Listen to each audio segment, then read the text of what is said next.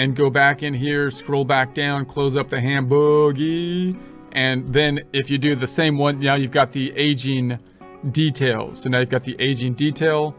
So it gives you the a similar thing, but now the agings are broken out this way. So you've got some information in terms of the invoices that are within there.